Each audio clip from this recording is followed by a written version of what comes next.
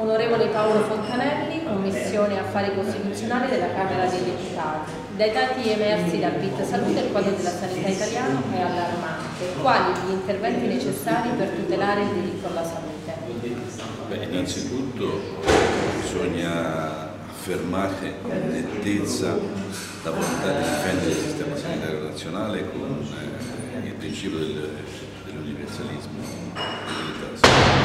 cosa che viene messa un po' in discussione quando si pone il problema sulla insostenibilità dei costi del sistema sanitario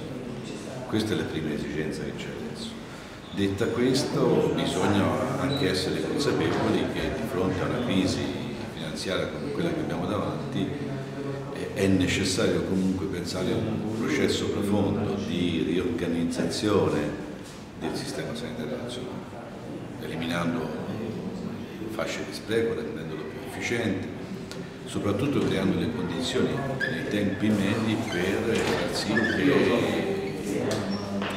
l'offerta dei servizi sia più appropriata rispetto a quella attuale, perché spesso la inadeguatezza produce anche un eccesso di domanda, sia sul piano diagnostico, sul piano eh, farmaceutico, quindi abbiamo bisogno di lavorare disegno che eh, partendo dal fatto che insomma, le risorse sono oggettivamente diciamo, meno di prima, bisogna utilizzarle meglio, ma in un contesto che salvaguardi e difenda pienamente il sistema sanitario nazionale.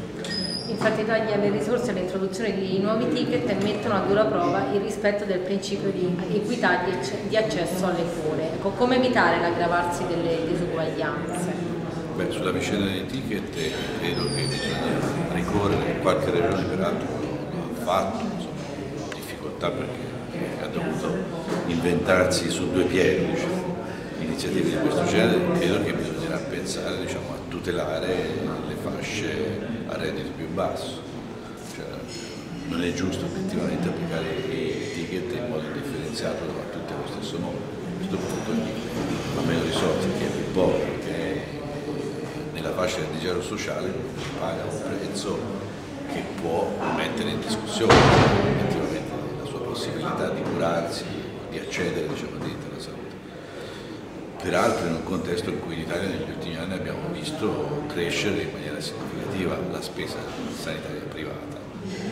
eh, cioè le spese anche delle famiglie, cioè significa che già rispetto alla eh, domanda di salute eh, complessiva anche con qualche elemento di inappropriatezza, comunque da parte dei cittadini c'è eh, oggi un, una spesa maggiore rispetto al passato per fronteggiare diciamo, le, le, esigenze. Non è questa la strada che bisogna seguire, cioè, nel senso che questa può aprire eh, credibilità a quella tesi che siccome non ci sono più le risorse per tenere in piedi il sistema sanitario pubblico bisogna dar vita a un nuovo pilastro della sanità del tipo privato. Questo sarebbe il primo passo per mettere in discussione eh, l'universalismo